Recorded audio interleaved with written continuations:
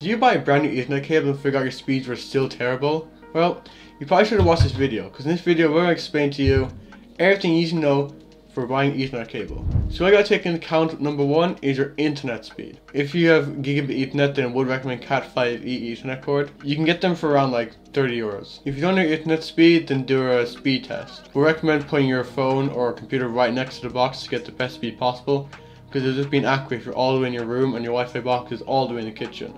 Next you have to take into account is the length of the cable.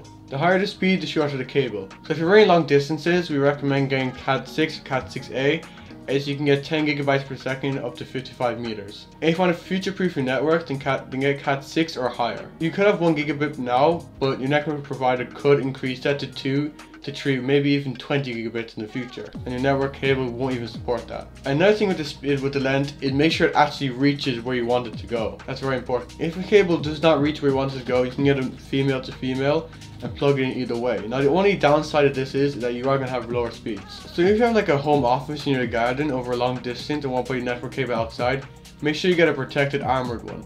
This is important because it protects it. But make sure uh, you have the same speed. So you get a higher cat because the longer the distance, the speed goes down. So get like a cat 7 over speed. Cat 6, not 7. Now let's go to the categories. Cat 5 goes to up to 100 megabits per second. Cat 5e goes up to 1 gigabit per second. And if your internet is higher than 1 gigabit per second, then you would need Cat 6 Ethernet cable or higher. So the higher the category means the higher the bandwidth. The higher the bandwidth means you have more devices connected to it at once. So for example, Cat 5 has 100 megahertz while Cat 8 has 2000 megahertz. This means you can support more devices. So in the video, we hope that you have decided which Ethernet cable is best for you. Like and subscribe.